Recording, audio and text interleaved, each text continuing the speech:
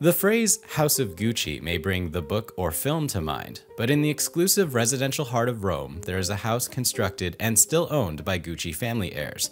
Intrigued? It's for sale.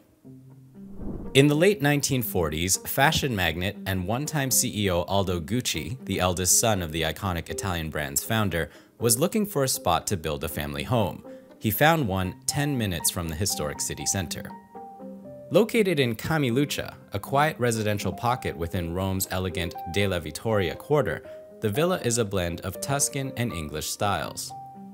Priced at 15 million euros, or about $15.9 million, this property is ready for its next dynasty.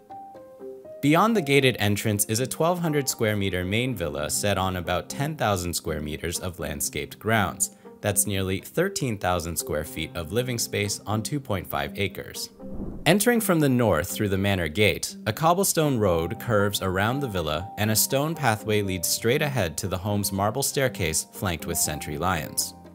Largely oriented to the south, the villa is drenched in light even amid the towering cypress and pine that line paths and roads, lending the expansive grounds a semi-wooded feel.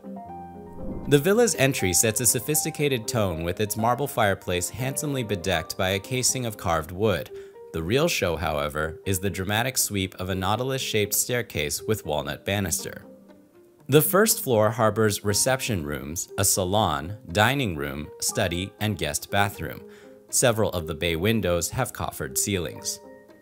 The living and dining rooms are anchored with carved marble fireplaces. All rooms feature generous crown molding.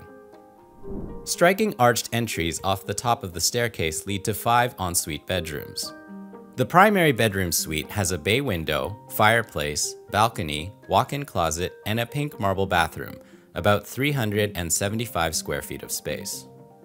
A convenient in-home elevator can be used to reach the villa's top floor, the mansarda. Decorated in a modern style in contrast to the rest of the villa, this attic living space has a penthouse feel, Set with wood floors, the large living room is warmed by a circular glass fireplace and includes a large rectangular skylight and an ensuite bedroom. Ascending the final set of stairs, the rooftop terrace opens to commanding views of the Roman skyline and the surrounding gardens. The kitchen is located on the garden level and can be accessed through the villa's garage. The garden level also has a laundry, staff bedroom, bathroom, and a game room. The L-shaped pool, surrounded by lemon and orange trees, is banked with white marble along its edge. It includes a pool house with exterior walls inset with Roman busts and matching Solomonic columns. Absent permanent occupants during the past decade, the Gucci family has used the property to gather during holidays and other events. Aldo Gucci is credited with creating the brand's iconic interlocking G logo, and the cultured aesthetic behind that star power branding is still evident in his villa, 34 years after his death. The family hasn't changed a thing, even during renovations. That includes antique furnishings, crystal chandeliers and sconces, tapestries, rugs, a burnished rosewood grand piano sourced from Gaveau in Paris, 17th century paintings, and richly hued wallpaper, all reflecting the elegant sensibilities of the Gucci family.